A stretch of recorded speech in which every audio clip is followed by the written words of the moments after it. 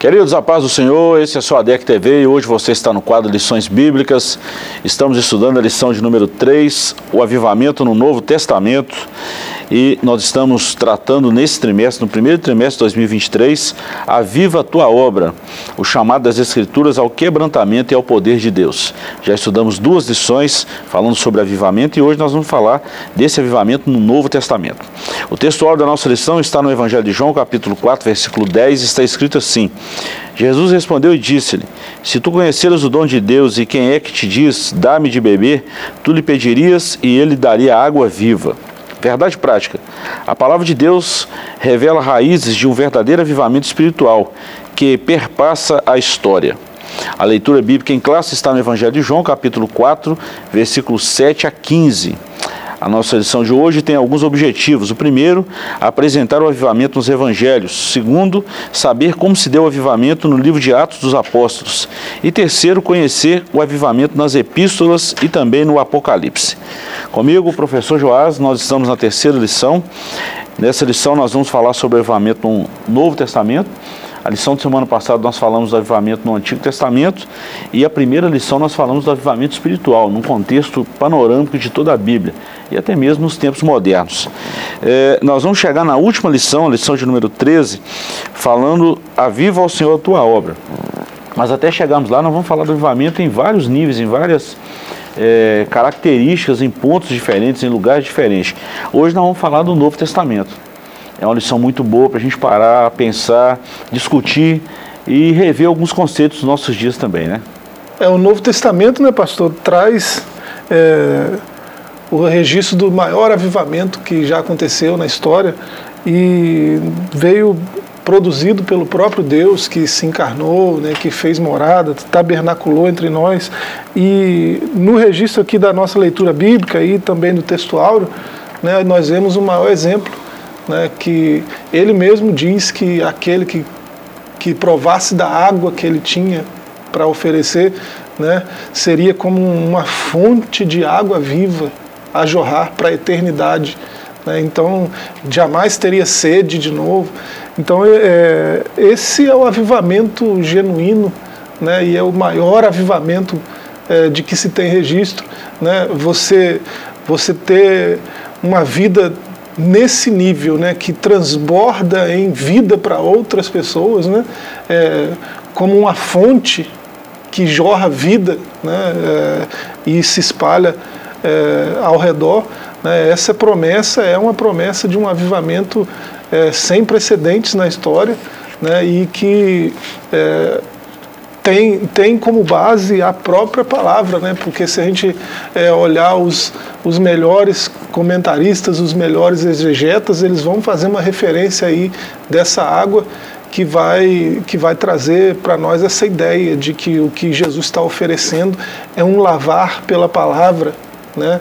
É, de modo que essa, essa pessoa mesmo, transformada pela palavra dele, de Cristo, né, pelo Evangelho, se torna é, uma fonte né, para outras pessoas na medida em que espalha essa, essa fonte transformadora e, que produz avivamento, né, conforme vai reproduzindo essa palavra né, que transformou a vida dela. Né?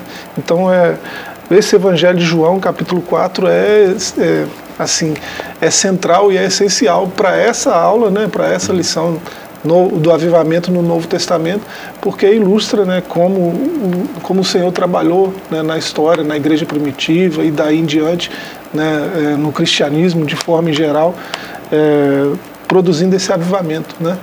Muito bom. Bom, vamos entrar na nossa sessão, professor. Nós vamos falar aqui no primeiro capítulo, Avivamento dos Evangelhos, depois o segundo capítulo, Avivamento em Atos dos Apóstolos, e o terceiro capítulo, quando a gente vai encerrar, nós vamos falar nas epístolas e também no Apocalipse. É uma lição muito grande para ser discutida em pouco tempo, é. né? mas nós vamos dar uma, uma visão panorâmica dessa lição aqui a todos que estão nos acompanhando. Introdução. Nessa lição, temos um panorama geral a respeito do avivamento no Novo Testamento. Estudaremos o avivamento trazido por Cristo mediante os homens comissionados por ele para proclamar a mensagem de boas novas para Israel e o mundo.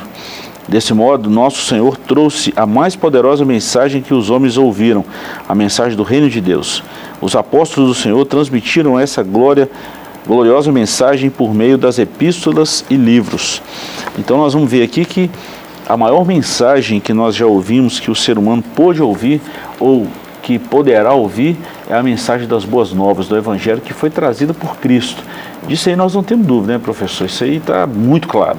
Com certeza, né? E todo avivamento genuíno ele vai partir é, desse princípio, né? De é, ouvir o Evangelho, né? entender o Evangelho e reproduzir isso. É, em forma de, de, de, vida que brota do próprio Evangelho. Né? Uhum. É, esse é o avivamento verdadeiro. Muito bom. Vamos lá então. Avivamento nos Evangelhos. O Novo Testamento é a revelação última de Deus para o mundo. Abordamos primeiramente o avivamento em João, pois, uma, pois, pois, pois sua mensagem é a mais objetiva da parte de Cristo para a missão gloriosa entre os homens. Avivamento em João, nós estamos falando aqui do Evangelho, tá? O Evangelho de João foi escrito entre os anos 80 e 95 depois de Cristo. Sua abordagem difere dos outros três evangelistas. Daí não consideramos esse evangelho como um evangelho sinótico. Já explicamos aqui o que, é, que, é evangelho sinótico, né? São evangelhos semelhantes, é, falados de forma é, é ampla, amplamente, são evangelhos semelhantes mesmo, eles são próximos, mas narrados de uma forma diferente. Né? Isso não altera o conteúdo. São evangelhos bem parecidos. O de João não. O João tem uma conotação diferente de Mateus, Marcos e Lucas. O João tem uma preocupação diferente com o evangelho de Cristo. É, enquanto Mateus, Marcos e Lucas é, se preocupam em, em demonstrar é, o reino que, que havia chegado na pessoa de Cristo, né? demonstrar sua humanidade e muitas vezes sua divindade também, mas o foco deles estava no reino. Né? Uhum. É, e aí, cada um com seu público-alvo, né? É, uhum. esses, esses evangelhos foram endereçados a um público, né? cada um deles. Então, uhum.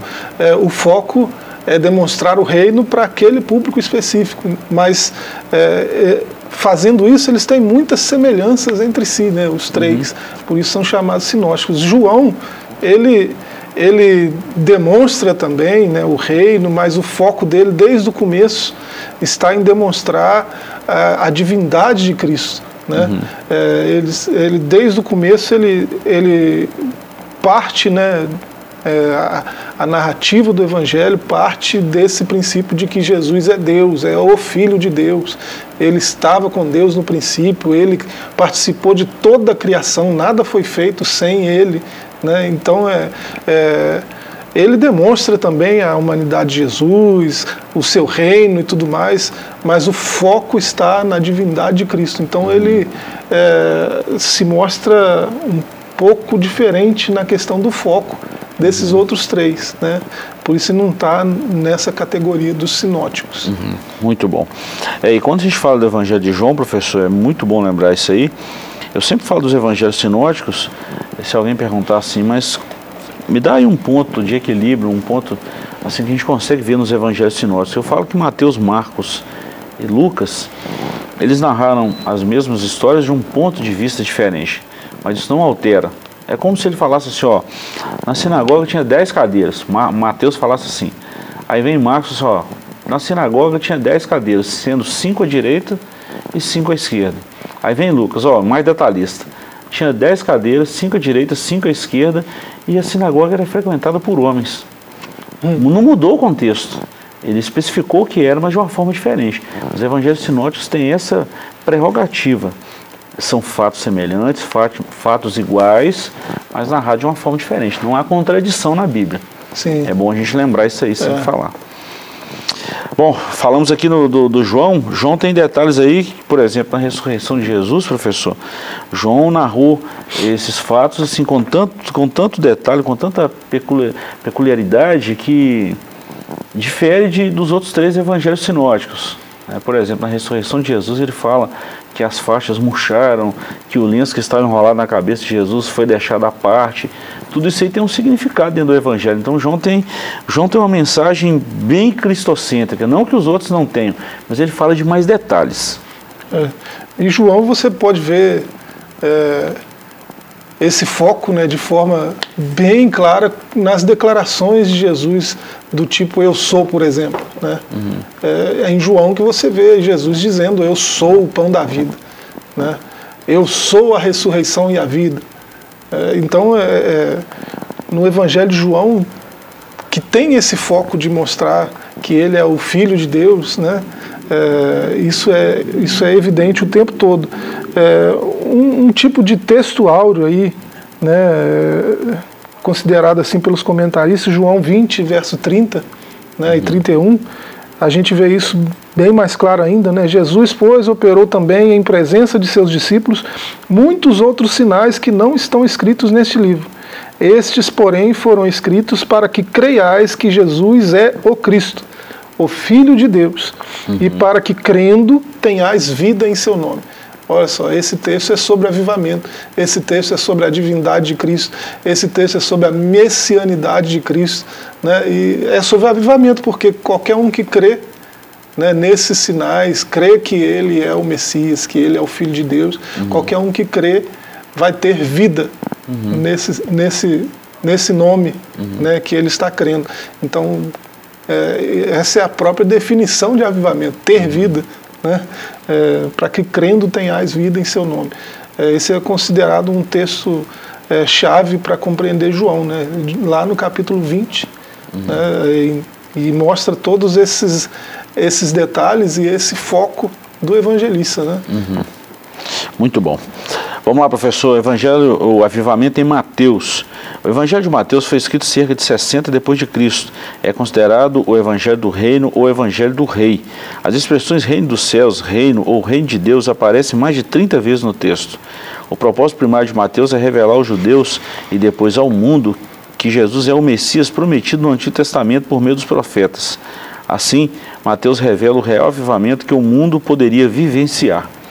Em Mateus a gente vê muitas parábolas de Jesus, né?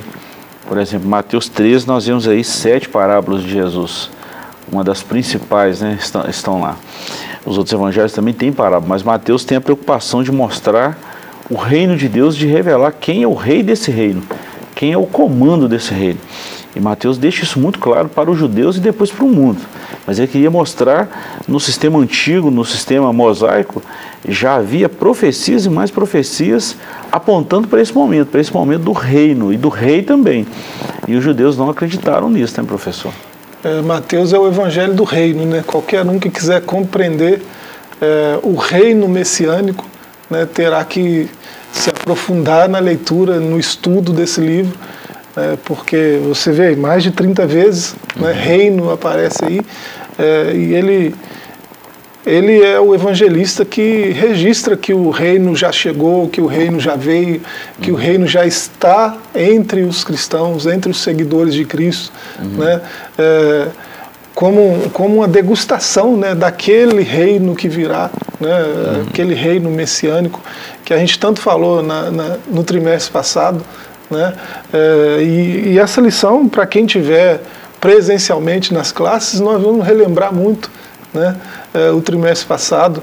Né? É impossível falar de João 3 e não lembrar lá de Ezequiel 36. Né? Uhum. É, aquela água que Jesus faz referência já foi profetizada lá em Ezequiel né, uhum. para trazer um avivamento para o povo de Deus, para a nação escolhida. E esse avivamento se espalharia por toda a terra. Né, e Deus prometeu é, esse avivamento há séculos atrás. Uhum. Né, e isso, isso tem sido uma realidade desde o começo do cristianismo, desde a fundação da igreja. Uhum. Né, isso tem sido uma realidade, é, porque Deus não tarda em cumprir as suas promessas. Né? Muito então, bom. é esse avivamento que pode se ver na vida de qualquer um que anda com Deus, que segue a Cristo sinceramente, né? É, pode ver que essa, essa pessoa tem um, um, estilo de vida diferenciado. Né? Você vê mais vida numa pessoa assim do que em qualquer outra pessoa. Uhum. Né? Então, isso já é uma degustação do reino que está por vir. Uhum. Muito bom. Vamos lá, o avivamento, ponto 3, em Marcos. No Evangelho de Marcos, Jesus é apresentado como servo em três aspectos. Primeiro, ele mostra Jesus como servo vencedor sobre as enfermidades, depois sobre os demônios, as forças da natureza e a morte. Segundo aspecto, o evangelista apresenta Jesus como servo sofredor, maltratado pelos líderes judaicos, sacerdotes, traído por Judas e um, um, dos seus discípulos, e humilhado pelos soldados romanos. Terceiro, Marcos apresenta Jesus como servo triunfante. A mensagem do anjo às mulheres que foram ao seu túmulo afirma: já ressuscitou, não está aqui. Assim, nosso Senhor foi morto, mas ressuscitou triunfante ao terceiro dia, vencendo a morte, o pecado, o mundo e o maligno. O Evangelho de Marcos é sabido por todos nós que é, que é o mais antigo escrito, né, professor? É o primeiro evangelho, na verdade, né? É, o Evangelho de Marcos é, é tão importante que ele acaba servindo. É, é possível né, fazer essa, essa afirmação porque muitos críticos né, é, é, do texto né, têm demonstrado isso, que grande parte dos outros evangelhos sinóticos é, parte de coisas que Marcos já, já disse. Né? Uhum. É, então tem uma porcentagem grande de Marcos em Lucas, uhum. tem uma porcentagem grande de Marcos em Mateus. Então Marcos foi uma fonte importante de conhecimento para os outros evangelistas. Então uhum. olha a importância do Evangelho né, de Marcos. E ele ele ressalta, ele decidiu né, ressaltar esse aspecto do ministério de Cristo, que é o aspecto de servo. Né? É, esse primeiro aí, vencedor sobre as enfermidades, a, a, a quantidade de enfermidades que Marcos narra, né, de é, paralíticos, coxos, cegos, leprosos, né, é, ele, ele fala da, da mulher que tinha uma hemorragia crônica, né, isso tudo está registrado em Marcos. Então, é, a quantidade de enfermidades que ele narrou que foram curadas pelo servo né, uhum. que tem é, é, poder sobre as enfermidades, servo vencedor né, uhum. né, sobre as enfermidades, é impressionante né, e, de, de alguma forma, demonstram também a divindade de Cristo, uhum. porque a própria tradição judaica né, é, demonstra que alguns pecados, alguns, algumas enfermidades eram é, impossíveis de serem é, curadas em, até mesmo milagrosamente. Né? Eles não admitiam é, que certos milagres acontecessem é, para certos tipos de enfermidades. Eles achavam impossível, impo, é o impossível do impossível. Né? Uhum. Né? Mas Cristo veio quebrando esses, esses paradigmas também, esses entendimentos que eles tinham, essa tradição, né? e Jesus fazia muito isso. E ele veio curando leproso, ressuscitando mortos. É, que já estavam mortos há muito uhum. tempo. E então ele veio é, para mostrar é, essa eficiência do reino né, e para trazer esse avivamento de fato. Né. Eu gostei muito dessa palavra que, que o comentarista deixou para a gente aqui, é, sobre, no Evangelho de Marcos, sobre esses três aspectos aí do Cristo vitorioso, do Jesus vitorioso. Sobre as enfermidades, sobre, a, sobre o sistema judaico, né, sobre os, os, as influências é, do sinédrio, do, dos fariseus, dos escribas, e também sobre a morte. Isso é fantástico, esse avivamento. Esse avivamento, nós estamos falando de um renascimento, algo que estava morto renasceu. Nós estamos falando disso aqui. E Marcos teve o cuidado de registrar em todos esses eventos que ele, ele fez tudo isso na forma de servo. Uhum. Né? Venceu sobre as enfermidades, triunfou sobre as enfermidades como servo. Não fazia nada sem se submeter ao Pai. Né? Uhum. É, é, nesse momento da encarnação, né, há algo que não, não se vê antes e nem depois, em toda a eternidade, que é a sujeição do filho, né, a submissão do filho como uma pessoa menor. Né? Uhum. É, nesse momento ele é menor do que o pai, ele é menor do que o espírito.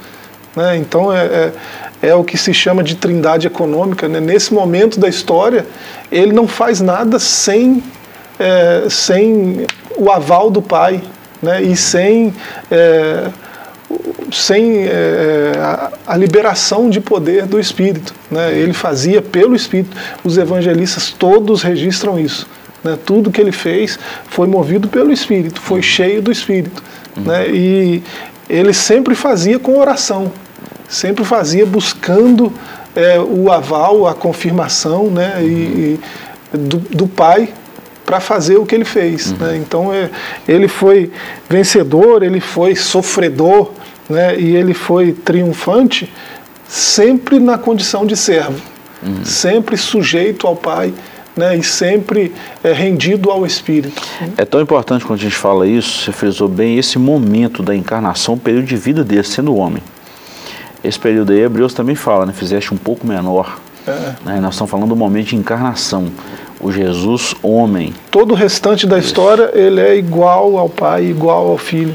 E ele não deixou de ser Deus, tá? É. Em momento algum. Só que Exato. nesse momento da encarnação, nesse momento ele estando aqui como servo, ele foi submisso, ele foi é, servo, foi obediente até a morte e morte de cruz. Por isso que Deus deu a ele um nome sobre todo nome. Avivamento em Lucas, nós encerramos o primeiro bloco aqui.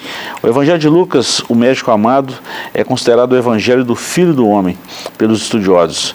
Nenhum outro evangelista retrata tão bem a humanidade de Jesus. Lucas registra o nascimento singular do Salvador, bem como as mensagens dos anjos aos pastores. Um novo tempo que chegava para Israel e o mundo era o avivamento enviado dos céus. Eu acho que não tem um avivamento mais claro do que esse nos evangelhos, não, professor de um servo, de um Deus que se encarnou, de uma morte que foi precedida, foi, foi vencida pela ressurreição, mas acima de tudo aí a descida, a descida, a encarnação. Isso aí é fantástico para nós seres humanos, tá? É, e é interessante é, a pessoa que Deus usou para trazer essa ênfase né, do, do, do homem Cristo, né, a pessoa que Deus usou é um médico, uhum. né, alguém que entende é, da estrutura um pouco mais do que os outros, né, a estrutura do, do corpo humano. Né, uhum. E foi uma escolha perfeita, porque Lucas coloca essa ênfase no seu uhum. evangelho, ele traz detalhes aí né, que outra pessoa né, que não, não tivesse esse tipo de conhecimento talvez não, não atentaria para esses, esses tipos de detalhes. Né? Muito bom. Professor, dá uma segurada aí. Nós vamos para um breve intervalo e voltamos já já com a segunda parte dessa lição maravilhosa. Não sai daí que voltamos já já. Seja bem-vindo ao novo site da Assembleia de Deus Caratinga. Agora ele está completo para você acompanhar bem de perto tudo sobre nossa igreja. Nele você encontra um pouco de nossa história, onde nós estamos, nossos horários de cultos e endereços de nossas filiais. E ainda você poderá fazer seu pedido de oração, sua contribuição, acompanhar nossas notícias, entrar em contato conosco e muito mais. Mais uma forma de você acompanhar tudo o que acontece na Assembleia de Deus Caratinga, de onde você estiver. Acesse agora assembleiadedeuscaratinga.org. Estamos de volta com o seu ADEC TV e hoje no quadro Lições Bíblicas estamos estudando a lição de número 3. Lembrando que estamos falando, professor, é, do primeiro trimestre de 2023, a Viva a Tua Obra, o chamado das Escrituras ao quebrantamento e ao poder de Deus. Estudaremos 13 lições maravilhosas sobre avivamento. Professor, no primeiro bloco nós falamos aí do avivamento no, nos evangelhos. Nós precisaríamos aí de muito tempo para falar desse avivamento nos evangelhos. Agora nós vamos falar em Atos dos Apóstolos, que é um outro tema muito estudado na teologia, né? na história da igreja. Então nós vamos aqui sintetizar o estudo no livro de Atos, né? Bem, bem assim, resumido mesmo, nós precisaríamos de muito tempo, mas vamos lá. Avivamento dos Atos dos Apóstolos. A gente pensa que avivamento só foi a partir de Atos 2, mas quem preparou o caminho para o avivamento mesmo começou lá no Antigo Testamento. É, Cristo veio e executou a obra que só ele poderia executar e outorgou a descida do Espírito Santo à, à igreja triunfante. A igreja queria dar sequência no trabalho de Cristo. Mas o avivamento chave mesmo, nós já falamos dele aqui. O Antigo Testamento é a base, Cristo é, o, é a mola propulsora disso aí, é o divisor de águas. E agora nós vamos ver a ação do Espírito Santo no, no Novo Testamento aqui, a partir de Atos e nas epístolas. É, no Antigo Testamento, como a gente viu na aula passada, né, é, é, esse avivamento veio sendo construído né, uhum. no decorrer do tempo, conforme o povo eleito de Deus se relacionava com ele né, esse avivamento veio sendo, é, as bases para um avivamento genuíno né, vieram sendo construídas aí ao longo da história, né, do caminhar desse povo de Deus com, com o seu Deus. Né? Uhum. É, e assim, os profetas do povo de Deus também registraram né, que haveria algo muito maior acontecendo né, que viria um avivamento muito maior, muito mais expressivo, muito mais importante, né, é, num futuro é, próximo né, a eles, é, e alguns 800 anos antes, 700, 600, muitos anos antes, né, até 400 anos antes, né, é, vieram falando desse avivamento que viria. E, assim, é, poucos é, judeus, né, povo eleito de Deus, atentaram é, para palavras como a de Joel, por exemplo, né, uhum. que esse avivamento não dizia respeito exclusivamente ao povo de Deus, ao, aos judeus. Né? Uhum. É, esse avivamento ele ultrapassaria as fronteiras uhum. de então, né? porque até lá é, o Espírito vinha é, de forma regrada e específica sobre como uma comunidade específica, sobre um povo específico dentro dessa comunidade, uhum. né? pessoas especiais ali nesse meio. Né? E assim, esse avivamento que viria, é, o Espírito seria é, derramado sobre jovens, crianças, mulheres, escravos, né, né, pessoas de outras etnias, né, os gentios, né, as uhum. nações. O Espírito viria sobre as nações. Uhum. Né, então, profetas como Joel profetizaram isso. E Atos registra como essas profecias se cumpriram uhum. na igreja primitiva. Como o evangelho saiu das fronteiras de Jerusalém e se espalhou até os confins da terra. É Atos, é, Lucas que vai registrar no, no, uhum. no livro de Atos é, como isso aconteceu. Né, como esse avivamento ultrapassou essas fronteiras uhum. e chegou em, em todo todo mundo, né? Muito bom. Então nós vamos ver aí em Atos exatamente a expansão do Evangelho, né? E tam, também nas epístolas. É o avivamento da igreja primitiva. No primeiro capítulo de Atos, o evangelista registra as palavras de Jesus, quando nosso Senhor disse aos apóstolos em sua despedida: Vós sereis batizados com o Espírito Santo não muito depois desses dias.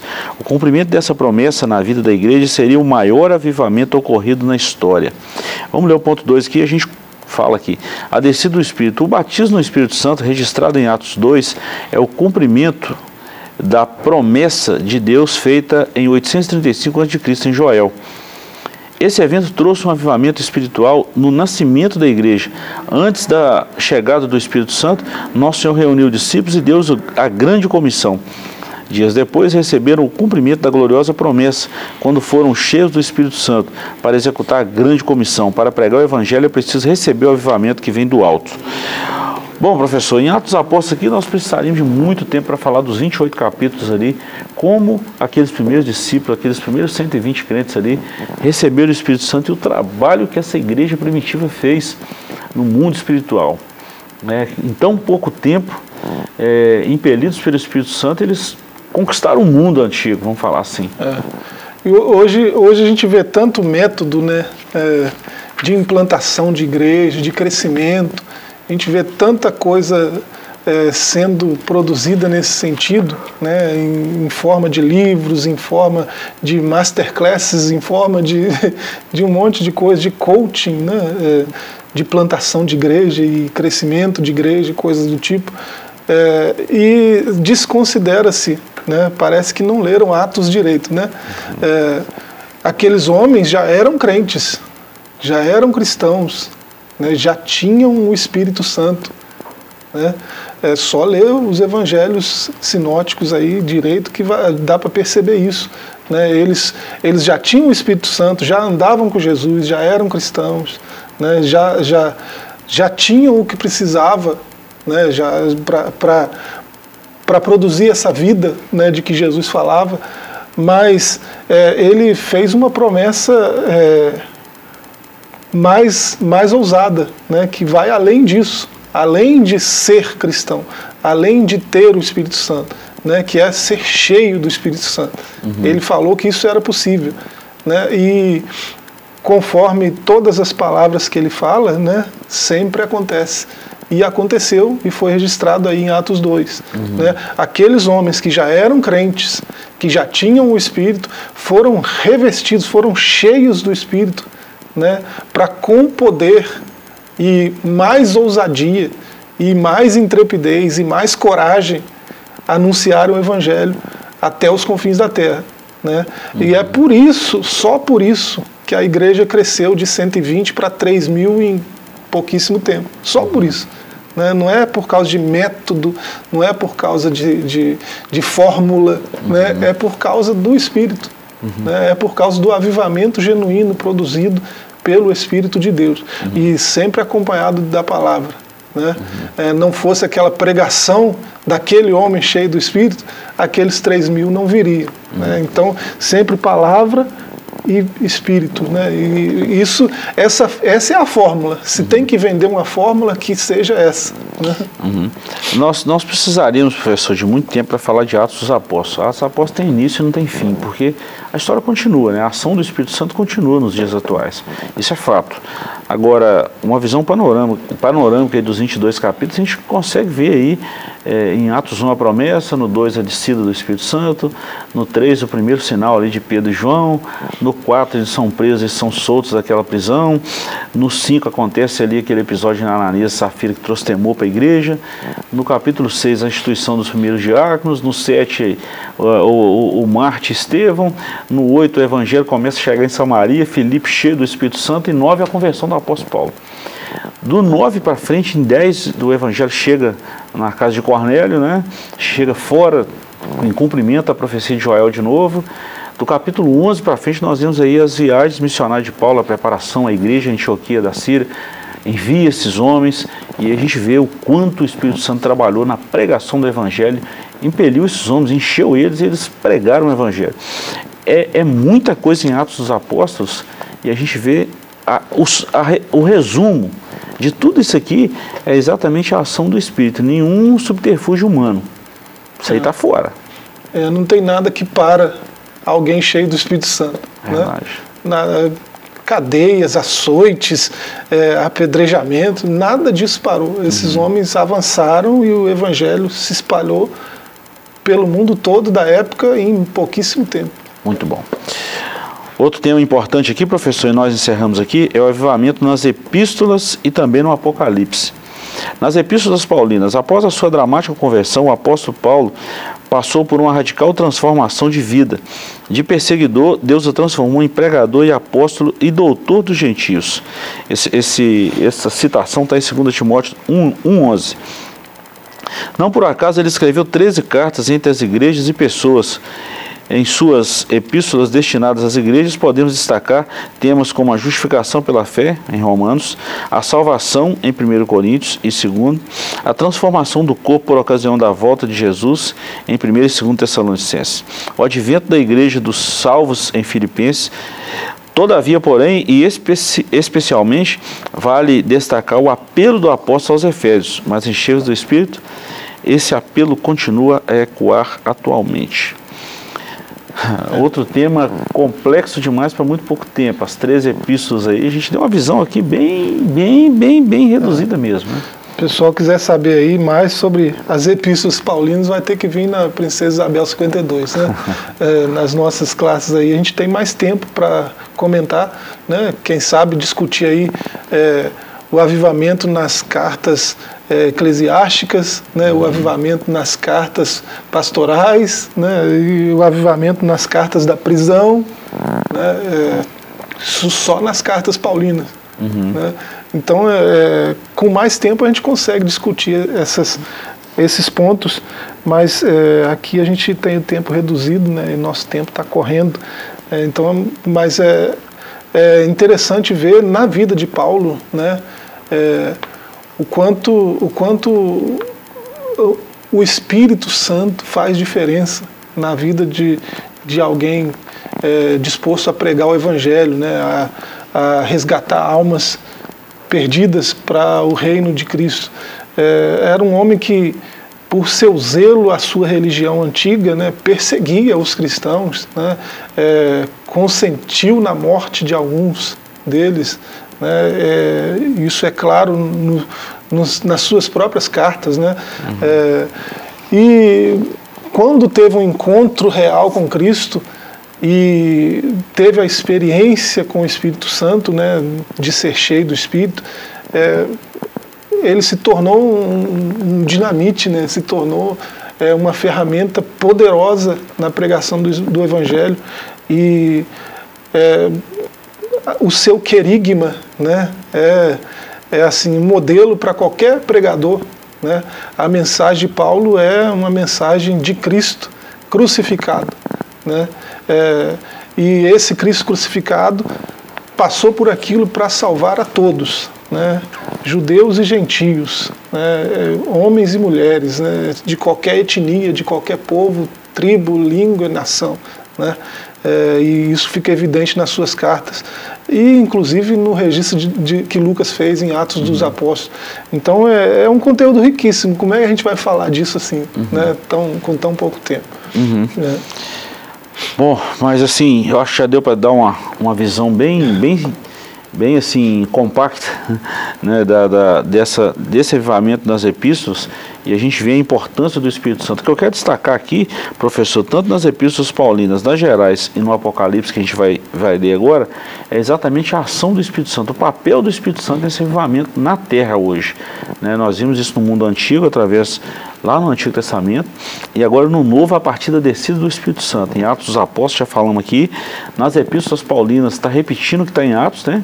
Repetindo assim, Paulo ele, ele, ele dedica um tempo maior né, a, a, esses escritos, mas, por exemplo, quando Paulo escreveu aos Efésios, aos irmãos de Éfeso, é, as, as, viagens missionárias dele estão tá registradas lá em Atos. É. Então ele está fazendo só uma, ele está pegando aquele texto de Atos e dando uma esmiuçada nele nas epístolas.